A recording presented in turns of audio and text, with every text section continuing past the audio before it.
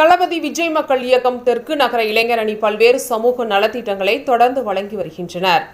இந்நிலையில் தெற்கு நகர இளைஞர் அணி சார்பாக தன்னலம் பாராமல் சமூக பணியாற்றும் ஆசிரியர்களை ஊக்குவிக்கும் விதமாக நினைவு பரிசு வழங்கி பாராட்டும் விழா கோவை சுகுணாபுரம் பகுதியில் உள்ள தனியார் அரங்கில் நடைபெற்றது.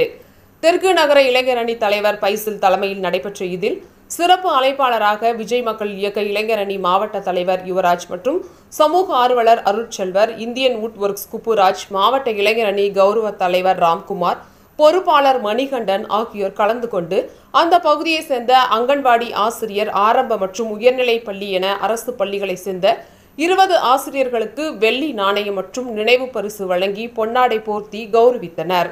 இந்நிகழ்ச்சியில் தெற்கு நகர இளைஞரணி பொருளாளர் இரும்புக்கடை அகிம் செயலாளர் முகமது அலி மற்றும் நிர்வாகிகள் சிவபாலன் ரமேஷ் சந்தோஷ் ஆஷிக் மகேந்திரன் கார்த்திக் மெர்சல் மற்றும் தினேஷ்குமார் மகேஷ் செல்வம் சதீஷ் கிரண் விவேக் நாகராஜ் உள்பட பலர் கலந்து கொண்டனர். தளபதி டாக்டர் விஜய் மக்கள் இயக்கத்தினுடைய தெற்கு நகர இளைஞரணி தலைமையின் சார்பாக தளபதியினுடைய ஆணைக்கு இணங்க மக்கள் இயக்கத்தினுடைய தேசிய பொதுச் செயலாளர் அண்ணன் எஸ் புஷி ஆனந்தன் அவர்களுடைய வழிகாட்டுதலின்படி சமூக நல வார விழா என்கிற திட்டத்தின் கீழ் த தளபதியினுடைய மக்கள் இயக்கம் ஒவ்வொரு வாரமும் ஒவ்வொரு நிகழ்ச்சிகளை செய்து கொண்டு வருகிறோம்.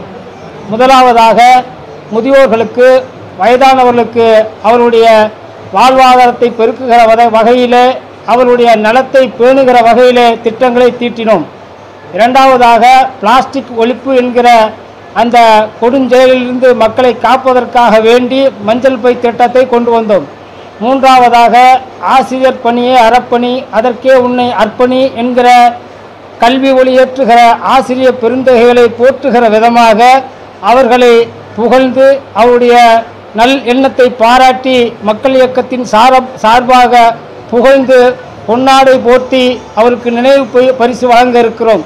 மக்கள் இயக்கம் மென்மேலும் பல நற்பணிகளை தொடர்ந்து செய்து கொண்டே இருக்கும் என்பதை அன்போடும் பெருமையோடும் தெரிவித்துக் கொள்ள ஆசைப்படுகிறோம்.